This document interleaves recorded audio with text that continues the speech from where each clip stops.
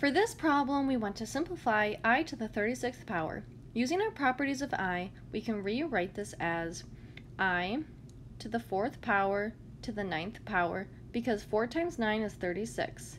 Since i to the 4th power is equal to 1, we can write this as 1 to the ninth power, which is equal to 1. This is the final answer.